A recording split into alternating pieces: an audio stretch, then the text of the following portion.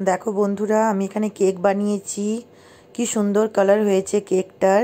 এটা আমি প্রেশার কুকারে বানিয়েছি। আমি সাধারণত প্রেশার কুকারেই বানিয়ে থাকি কেকটা। তো দেখো কি সুন্দর কালার এসছে কেকটার। আর খেতেও মানে দেখতেও খুব সুন্দর হয়েছে।